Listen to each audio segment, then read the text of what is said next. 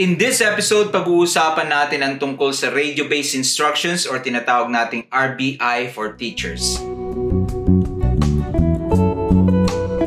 Everyone, this is Sir Z from Teach Train Transform where I don't just do teaching related activities or videos but I also do teacher related discussions just like this one. And for this episode ay pag-uusapan natin yung tinatawag nating radio-based instructions na ginagawa natin ngayon. This is actually the material that I use for a number of webinars that I attended kung saan na-invite ako to speak. And since this is a webinar material about an hour long ang topic na ito so I decided to divide this. So radio-based instructions, script writing and editing by yours truly. And just in case sa mga hindi pa nakakilala po sa akin, I am Sir Z or dun sa group na ito, Tutor Z sa Itulay Online Tutorial every Mondays at 1.40 in the morning, sometimes 1.30 and also sa Itulay TV. Every Mondays po kasama ko po si Tutor Marky from SDO Bulacan. Naging part din po ako ng DepEd TV for Batch 3 workshop. Dito na naman po sa amin ay isa ako sa mga teacher broadcasters ng RTV Tarlac Channel 26. Our episodes are simulcast over DCTC Radio Filipino Tarlac 828 kHz na mapapanood din sa Converge Cable Television Channel 100. Sa school naman po ay uh, hindi na po ako masyado nag-RBI kasi sa dami ng ginagawa ko outside the school. Isa na lang po ako sa mga nag-check ng mga kanilang scripts. I also direct and organize our teachers or school teachers for their RBI schedules. During the first quarter, quarter, I was uh, the content evaluator ng aming district for science topics. Chinecheck ko po yung kanilang contents, script, and also yung PowerPoint kung tama ba ang kanilang laman. So let's go ahead and talk about radio-based instructions, script writing and editing. Tulad po ng sabi ko, ito ay hinati-hati ko. So let's start muna po tayo sa scope of the discussion. Importance of radio in education. Gaano ba ka-importante ang radio in education? Principles of radio script writing and basic radio script format. Yan ang isa sa mga pinakamahalagang topic sa video na ito. So we will introduce other formats na explore naman natin para maging more effective ang ating mga RBIs. And also at the end, we will have tips for better broadcasting, script writing, and PowerPoint layout. Bakit ba nagsimula ito?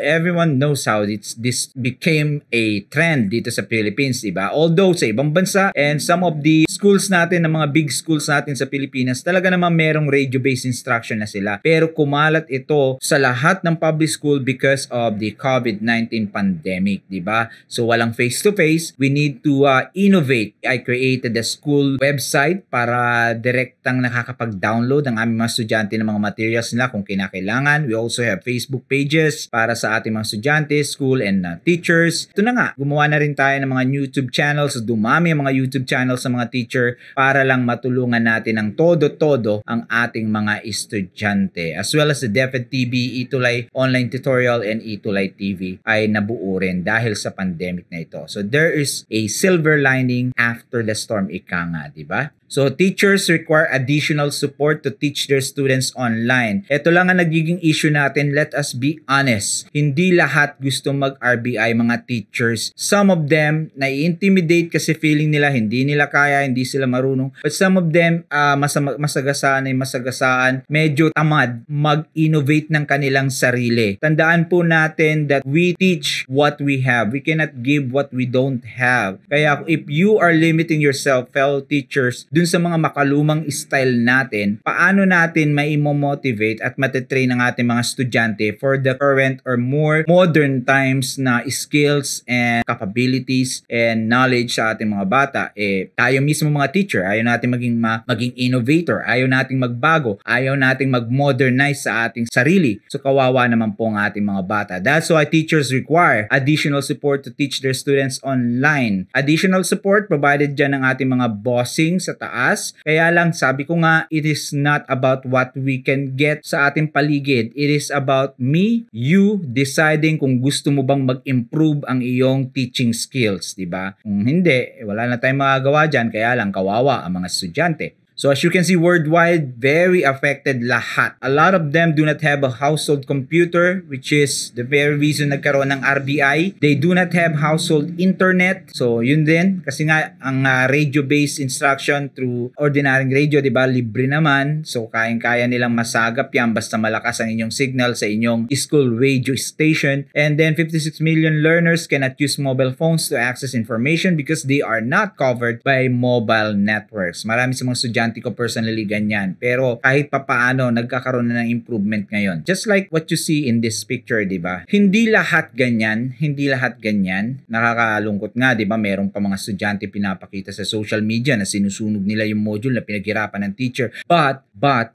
there are few selected students na kahit ang hirap-hirap ng sitwasyon, gusto talaga nilang mag-aral. And they appreciate the effort of teachers sa lahat ng paraan. Yung gumagawa ka ng YouTube o kaya nagdi-discuss ka sa Facebook Live mo, napakalaking bagay niyan sa mga kabataan na talagang gustong mag-aral dahil may mga pangarap. Marami, of course, nang uh, nakakasama ng loob dahil hindi sila seryoso, pero merong iilan na umaasa at naghihintay sa tulong mo, fellow teacher. feature. So what is the importance of radio in education? What is radio? An electronic mass medium reaching millions of people. Kasi even before, luma na kasi itong technology na ito. nag improve lang sa uri ng gadget. But even before, uh, wala pang television, radio na talaga ang talagang ginagamit for getting information and sending information. Mass media na siya, hindi lang for military purposes, naging mass media na siya. It's still commonly used especially in the rural areas na wala pang television or talagang talagang hirap magkaroon ng signal pagdating sa television at saka sa internet. Communication system based on broadcasting electromagnetic waves transmit messages via radio waves. Hindi na natin uh, kailangan malaman yan because ang focus natin is to know the importance, the significance, and how we can perform as effective teachers in the more innovative ways tulad ng Facebook Live, internet, radio-based instruction, television, and so on. So focus tayo sa usapang yon. So radio is an effectual system for delivering of education to larger number of people because mahirap ang internet, mahirap ang uh, walang TV or walang signal ng TV pero mas madali kasing kumalat ang radio waves kaya mas madaling makakuha ng radio signal kaysa sa signal ng television o kaya ng internet. It facilitates information exchange at the community level acting as a community telephone. Yan yung pinaka-importante actually sa RBI na unfortunately medyo dun tayo kulang. Ang sinasabi ng second bullet ay yung interaction. Hindi lang kasi dapat ang RBI para magsalita at marinig, kundi at the same time ay makapag-communicate tayo sa ating mga audience live. Yung makakapag-send out sila ng comments, makakapagtanong sila ng live in order for us to be able to respond to them effectively. Radio plays a vital educational role as a sole medium for formal and non-formal education because tanggalin mo na ang lahat, there will always be radio kung saan ka pumunta. In this educational mix, different mediums of delivering teaching and learning, radio is an important medium that helps support students studying at a distance as well as those generally interested in expanding their knowledge. So, maraming may gustong mag-aral. Maraming gustong mag-aral. Hindi nga lang lahat may gadget, hindi nga lang lahat may internet, hindi nga lang lahat may television, but the most simplest way to reach them sa mga malalayong lugar ay through radio. Kasi kaya nga 'di ba may mga radio na 200 pesos lang pwede na. So, ibig sabihin, mas potential ang power ng radio-based instructions kumpara sa ibang mga mediums kung saan limited ang uh, accessibility ng ating mga estudyante. Although often overshadowed as an educational medium by more popular ones katulad ng TV, internet, projectors, di ba? Mas sanay ang ating mga estudyante dyan, parang mas sikat kapag TV, pag internet, pag projector, ang ganda, it remains a viable medium that has proven educational worth in terms of both pedagogical importance and geographical reach. Kasi nga, nandyan pa rin siya, na overshadow siya, hindi siya masyadong pinapansin kasi mas sikat ang TV, internet, pero malaki pa rin ang may tutulong niya, especially nga dun sa mga estudyante estudyanteng walang access sa mga high-end devices and internet signals tulad ng mga yon. When used as a supplementary learning tool, radio benefits weaker students. Take note of that by Trip and Robbie 1996. Radio benefits the weaker students, capable of delivering high-quality educational programming to highly diversified audiences located across broad geographical expanses. Diversified audiences kasi nga localization tayo, di ba? Kung ang lugar mo ay Kapampangan, pwede kang magkapampangan during radio broadcast. Ilocano, pwede kang mag-Ilocano. Hindi kailangan maging English lang ng English ng English. Kasi kaya ka nga umupo dyan sa harap ng microphone, dyan sa radio booth ng inyong school, ay para makapag-communicate sa iyong sariling mga estudyante. So kung ano yung dialogue nyo dyan, hindi kailangan maging formal, you will be able to talk to them. Mas maganda nga lang sana kung mayroong interaction. Yun lang ang kailangan nating hanapan pa ng solusyon.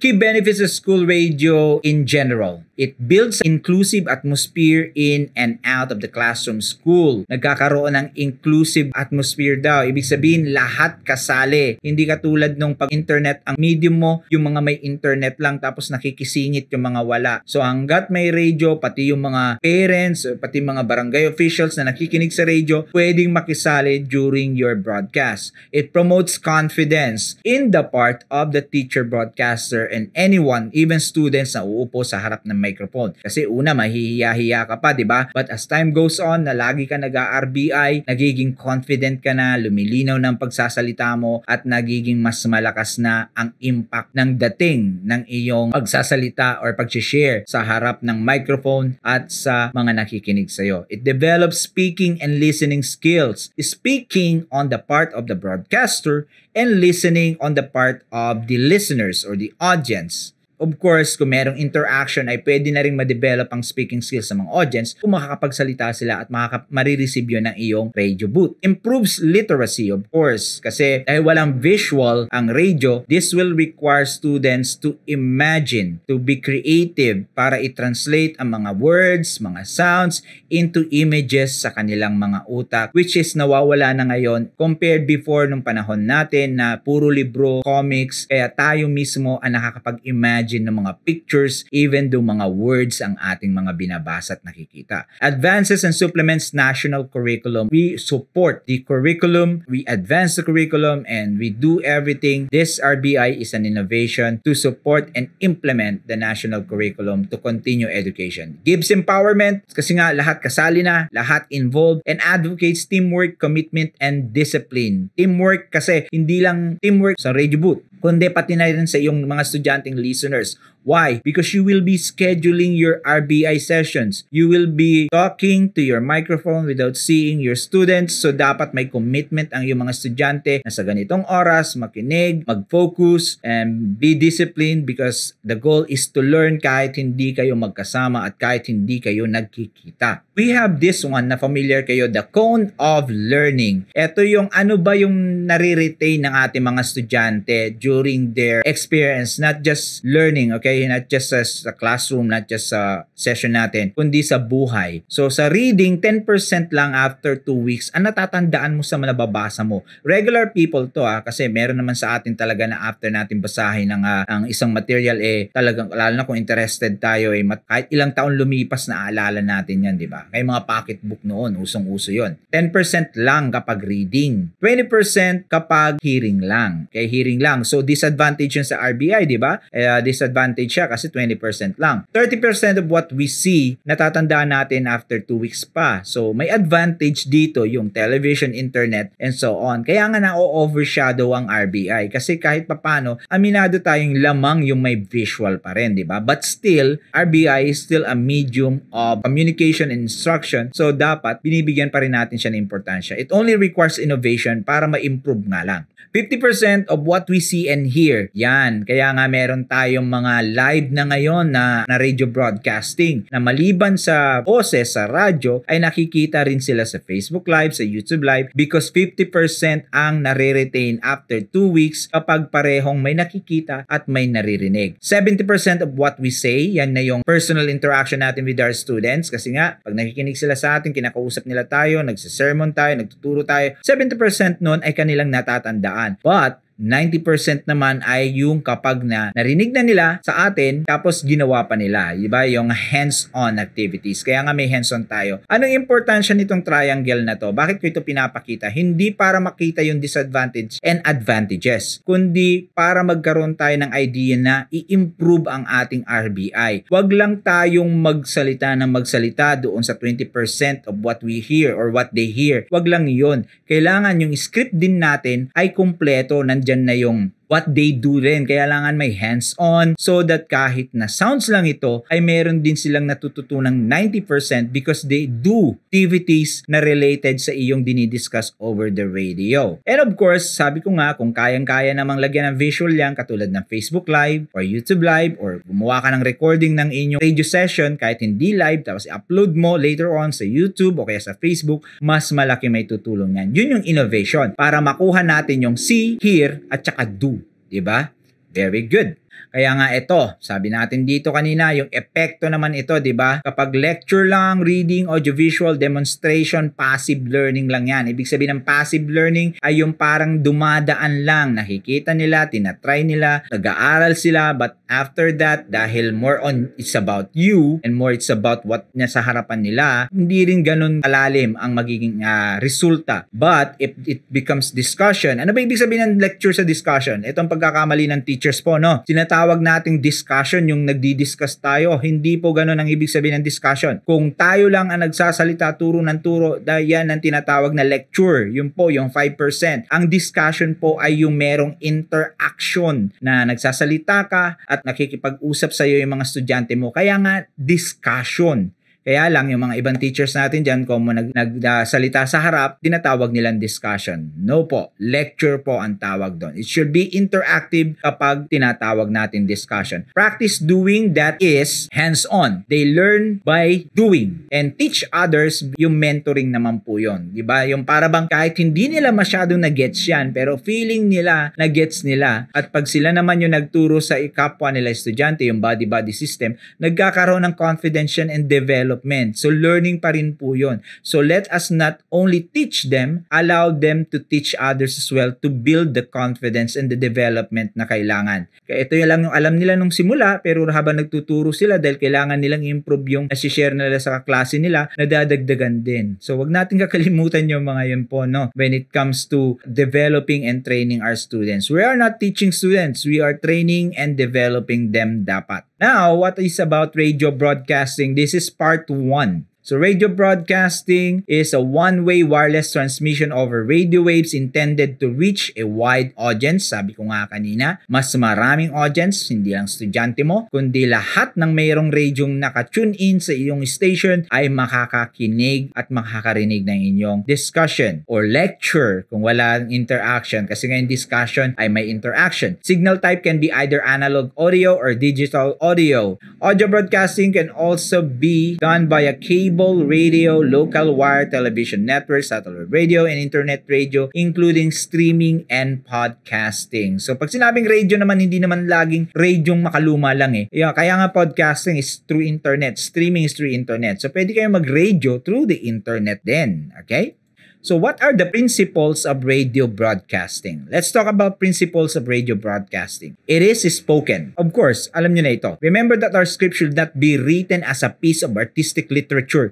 Ito po ang kinokorek ko sa mga materials noon na pinapacheck sa akin as content evaluator. Maliban sa mga maling information or made me wrong grammar, is kapag nagmumukha siyang literary arts. Ang script po dapat ng radio broadcast ay hindi parang nobela, kundi parang nagsasalitang normal lang na nagsasalita nagsasalita yung radio broadcaster tapos tinype niya yung mga sinasabi niya para kapag binasa ng, ng teacher broadcaster yun ay magtutunog na parang normal nagsasalita lang. Kaya lang ang nangyayari kasi pinapaganda natin yung script kaya nagmumukhang tumutula yung ating mga teacher broadcaster na maling-mali. It is spoken, nor- normal na pagsasalita, hindi parang tumutula, hindi parang kumakanta, hindi parang nagkwekwento. The broadcast style must be natural. Take note of that. It should be natural. It is immediate In broadcasting, radio and television information is considered immediate. Ibig sabihin, up to date. Broadcasting is a now medium while print media publishes information from the past. Pag RBI, dapat kung ano ang topic mo ngayon, kung ano ang discussion for today, yun ang discussion mo. Kasi kaya po sinasabi ito dito is because meron mga time na kapag hindi na i-broadcast itong episode na ito or itong script na ito, isasalang pa rin tapos iba ng module yung hawak ng estudyante. So wag ganon. Dapat it should be a now medium. Kung ano ang discussion ngayon, ano ang topic ngayon, yun ang ibo-broadcast natin. Number three, it is person to person. Ibig sabihin, you are talking to someone. Hindi ka